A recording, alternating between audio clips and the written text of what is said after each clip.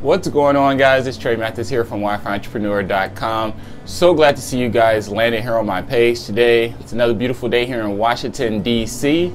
Super excited about shooting this video with you guys because we just had a pretty good conversation inside of our online community. I want to share with you guys a little bit about what, what happened and what transpired there. Let's go ahead and get started. This is the Wi-Fi Journal.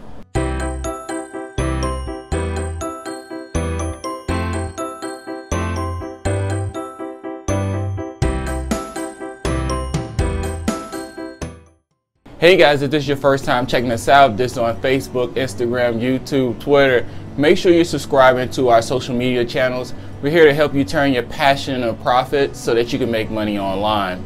Like I mentioned in the opener, uh, we just had a pretty good conversation transpiring in our online community. If you're not a part of our online community, make sure you click on the link below and get a part of it right away. We have over close to 2 million people now in our online community, all uh, online entrepreneurs helping each other to succeed online, learning from each other, tips, tricks, different tools, resources, etc. that we utilize that can help all of us succeed. So I'm really excited about being a part of that online community. I'm very excited about having you a part of the online community as well.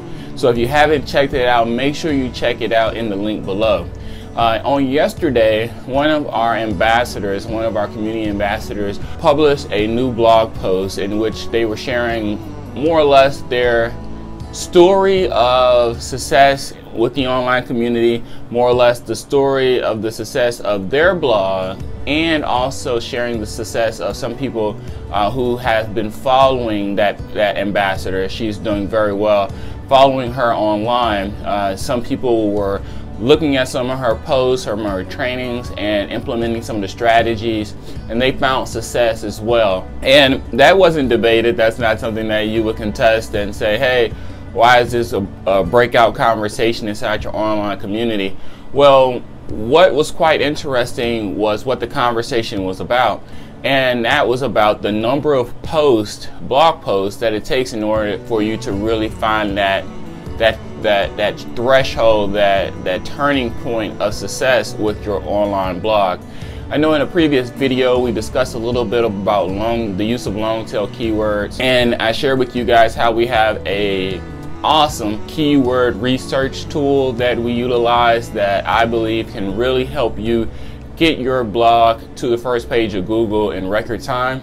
Uh, but one of the things with those long tail keywords, because they're so long, because you're not using words like shoes, instead you're using words like men's running shoes that you're trying to target, you find that you're not going to have a ability to load up a particular article with a whole bunch of keywords. Instead, you're going to want to focus in on just those long tail keywords for each article. And with that, you end up finding that you need to write a number of articles in order to really stand out in Google. Google doesn't just give you first page of Google just because of the fact that you wrote one article.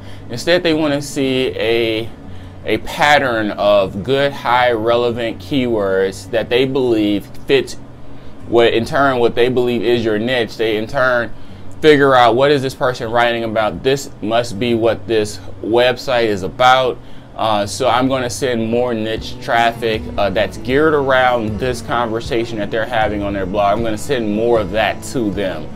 And because of such, you, you find yourself writing uh, men's running shoes. You may write another article, men's running shoes for people with bad feet, men's running shoes for flat foot people, etc. Men's running shoes with high arches and you can see how it can go on and on and on. Well, each one of those will be a different article. Well, one of the things that was discussed in our in our online community was the fact that because we know we have to write a number of articles, we often uh, like to tie a number into it. Uh, having a number associated with the goal allows us to better track the goal. If we know that we're looking to attain a certain amount number of posts, then uh, if we can look and see how many posts we've written, if it's not near that, then we know we have more uh, room for growth. And the number that we've come up, came across or come about in our online community is 400. We believe you need about 400 good, relevant, engaging posts on your blog for Google really to respect your blog as a uh, authority in the niche in which you're trying to obtain. Now, that doesn't mean that you can get high relevant traffic to your blog with less than 400 articles. However, we found that if you have about 400 articles, you have so much content for Google Index that you get more and more engaging traffic, more relevant traffic that you're looking to, to achieve. Now in our community, we all have this understanding that 400 is the number that we want to achieve. We all work together to see how we can come up with new ideas that we can then search for inside of our keyword search tool that we can then turn into great relevant blogs for our individual niches. We have a lot of different niches. Everyone does not do the same thing. I'm personally in the make money online niche. I want to help you make money online. I want to consolidate some of the key resources and tools and information that you need in order to be successful. There are other people who are into the make money online niche. They have their own direction and passion. Some may be in a network marketing company. Some may be starting their own coaching program or course program, etc. Uh, however, I know there's a good person that specializes in just Vail travel. Uh, so Vail is in Colorado. They specialize in only traveling to Vail. The re resorts, the food, the things, the attractions that you may be interested in doing, you can all find inside of their blog. One of the interesting things rather is how the different subjects can, or the conversations can go in these different blogs.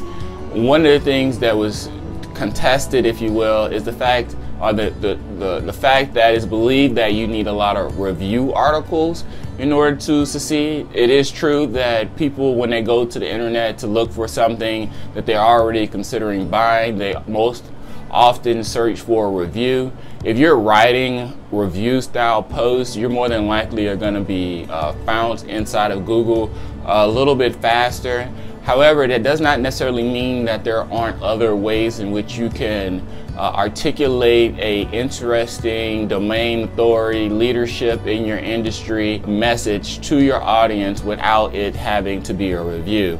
And that was really what the, the people were, were trying to debate back and forth. And I have to be honest, uh, based off the experience that I've had, that I truly believe that review articles do very well uh, they do bring you up. What you end up finding is you understand what that kind of what that person is interested in by the kind of thing that they're searching for. So if you write an article, let's say about a Hootsuite review. Well, Hootsuite is a social media tool that allows you to schedule your online posts, your social media posts in advance.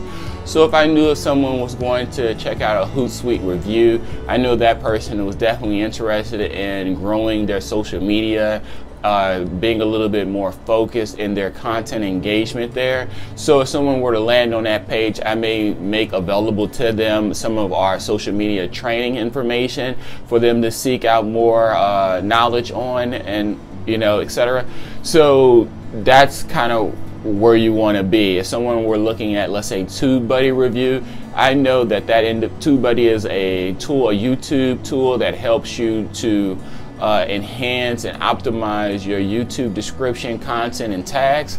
If I know someone were looking at a, a TubeBuddy review, I know that person was looking to grow their YouTube base, and I may make available to them on that page information that's geared around that direction. So this is kind of how you're able to utilize reviews to really pinpoint and better target your potential customer.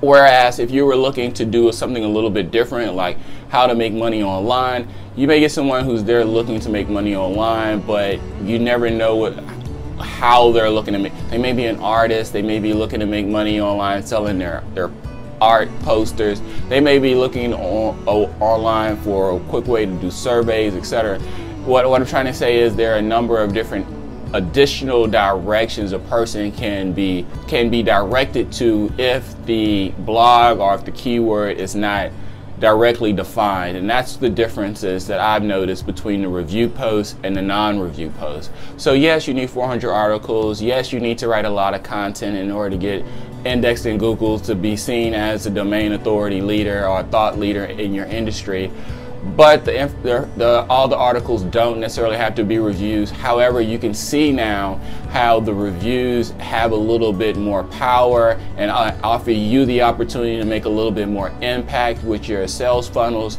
if you know exactly what the individual is looking to achieve by the review in which they sought out. So this is just something to consider moving forward. There are two sides to both stories.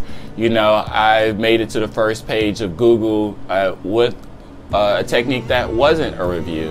One of my very first articles that made it to the top page of Google was more or less a how-to post, which is another great way uh, to direct people and, and direct targeted traffic to your website. If a person is learning how to post on YouTube or how to post on Facebook, you know what this individual is looking to do. He's looking to do more posts on YouTube or do more posts on Facebook. So uh, these work as well. This is exactly what I did. I created a post. It was a how-to post. I knew that if the individual was there looking for this, I knew a, a particular product that they could utilize that would be beneficial to them.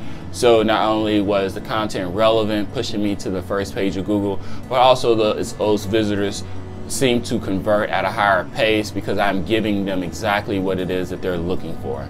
So if you or anyone you know are interested in make money online, turning their passion into profit, please tell them about our website, wifientrepreneur.com. Please tell them about our social media channels. We're here to help you turn your passion into profit. We have a community, like I mentioned before, of over a million individuals, all online entrepreneurs helping each other succeed. We want to help you succeed. We have a link and information below. We also have a free online training center. I told you earlier in the conversation that I've consolidated as much of the cream of the crop, the best stuff out there, uh, the training, tools, the resources, the PDFs, the anything you're looking for in order to really, if you're online right now searching for how do I make money? What is the next step? Where, wherever you are, what's the next step? I guarantee you that inside of our online community, we're gonna have some information in there that's gonna help you identify what that next step is, help you move into that next step with confidence, knowing that you're using the best information possible to see your success in this year. So I'm going to leave it there. Please go over and check out our online community. Please go over there and check our free online training center. I look forward to talking to you guys again real soon. So until we talk again, take care and be blessed. Peace.